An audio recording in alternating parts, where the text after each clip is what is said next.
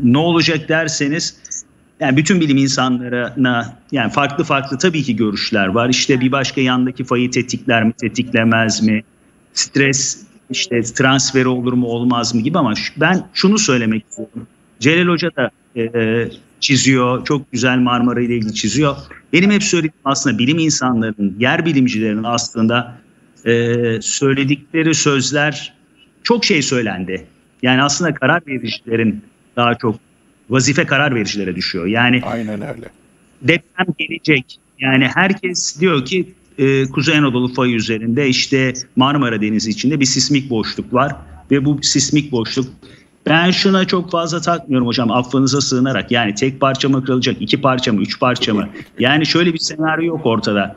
7.2 bir tane olursa her şey toz pembe, güllük gülistanlık da. Değil Yani tabii. 130 kilometre kırılacak, 7.7 bir kere de kırılacak da felaket mi olacak? Hayır. Yani maalesef e, biz bu yani 7.2 olsa da çok büyük felaketler yaşayabilme olasılığımız çok yüksek.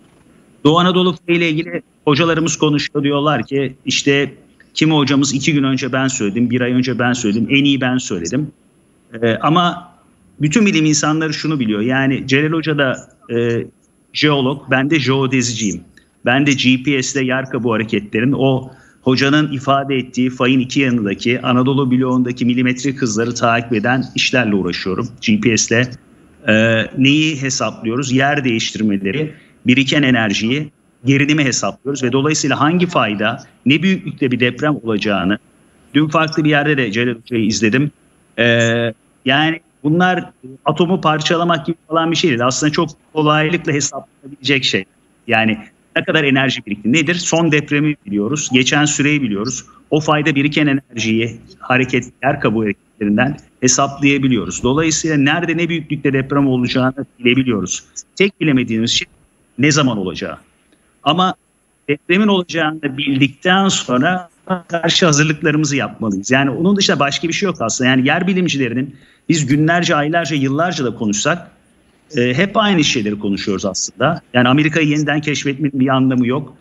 E, bazen bana da meslektaşlarımız e, serzenişte bulunuyor olabilirler. Hani bunu tekrarlamanın faydalı olduğunu düşünen bilim insanları da var ama ben aynı şeyleri sürekli sürekli tekrarlıyoruz. Aynı şeyleri konuşuyoruz. E, ama e, sonuçta deprem zararlarını azaltacak e, işlere yoğunlaşmamız lazım. Yoksa kimin daha önce söylediği, kimin daha doğru söylediğinin çok bir anlamı yok. Yani milimetrelik hareket 7.2 olsan olur, 7.3 olsan olur. Haluk'cum bir dakika lafını keseyim. O ben bunu daha önce söylediydim falan diyenlerin pek çoğunun deprem hakkında bir tane çalışması yok. Bunu vurgulamak lazım. Hani teminden beri bilim adamlarından bahsediyoruz ya. Kim bilim adamıdır, kim değildir bunu iyi ayırt etmek lazım. Yani ben şunu mutlulukla ifade edeyim. Ne zaman deprem olsa Haluk'un ekibi Kandilli elindeki bütün verileri cömertçe paylaşıyor. Ne istersek anında geliyor. Herkesin ulaşabileceği veriler bunlar. Onun için biraz önce söylediğimi biraz daha vulger bir şekilde ifade edeyim. Palavra atmaya gerek yok.